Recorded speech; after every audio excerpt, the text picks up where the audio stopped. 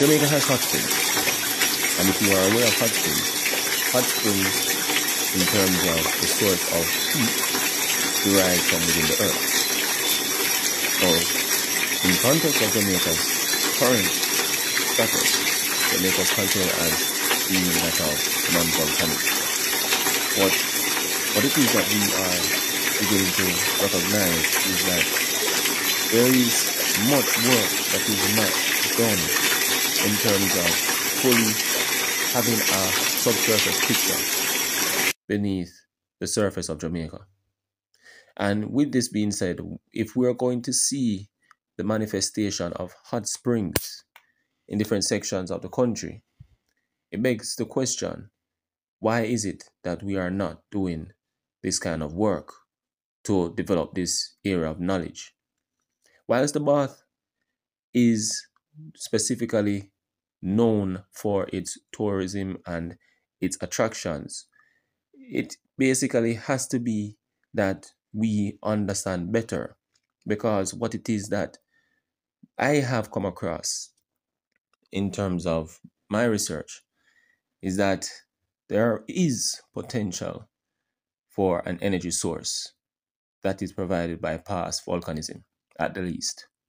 So Wishart in his 2013 paper studying the Bath geothermal reservoir would have conducted some geothermometers or used geothermometers to test the heat. And what this person found is that there is, exists a range of 83 to 102 degrees Celsius of temperature that is found deep within the Bath region, underground that is.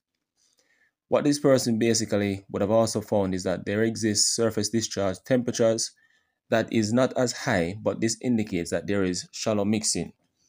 Now, in terms of the depth to circulation of mixing, he or she estimates that being 1 to 1.8 kilometers. And this basically is much more shallow relative to other sources of warm slash hot springs, such as the Milk River and the Windsor seepage. Now, according to this author, the assumption is that the source of the hot spring or the source of the geothermal energy is as a result of remnant seawater via hydrothermal sources when Jamaica's volcanism was in its early stages. So it indicates, or how I interpret it is that there basically is a degree of trapping of this heated water for millions of years. And basically now, with the presence of the Plantain Garden fault system, what it is now that has taken place is that this fault line or fault zone has resulted in cracks and hence you basically have upwelling of this trapped heat. So in so doing, this is where now specifically the Bath area, has experienced or is experiencing hot springs. This author had indicated or has indicated in his or her paper, however, that you know it may be that this is not a geothermal source attributed to volcanism. Yet still there were another there was another section that he, he mentioned the potential of shallow magmatic intrusions.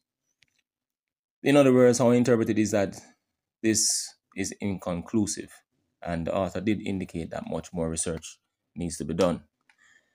What I want to do at this, this stage is just to apply my own understanding of what it is that more than likely is the reality as we can see. So if I'm going to use the data provided by this author. What it is that I'm ruling out is the likelihood of radioactive decay as the source of heat energy. You know, I'm not seeing where mention was made of an example, uranium.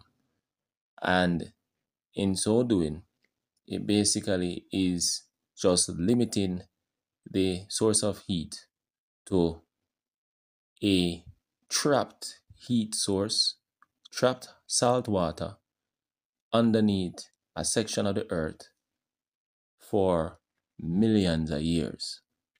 So, uh, my question has to be how is it that the temperature of this salt water managed to maintain a range of near boiling without still being fed a heat source. Keep this in mind as well that it's not like the Plantain Garden fault zone is a baby to the extent that it just occurred a hundred years ago, as an example. You have to keep in mind that this fault system has been active before mine and your time, basically for hundreds of years, thousands of years, potentially even millions of years. So, in essence, the action of the fault system through its active nature resulting in movement means therefore that there is going to be cracks and you know increased percolation and mixing this has been the case for thousands of years to millions of years potentially. In other words if this is the case how is it that the temperature has not dropped from where it is currently or what it is that this author would have indicated he she would have measured back in a 2013 how? How is it that the heat managed to still be the same right? Because if there is infiltration of surface water with that deeper heated water and you have mixing it should have been cooled down for many years ago in other words what i'm going to say is that there has to be an active source of heat still there.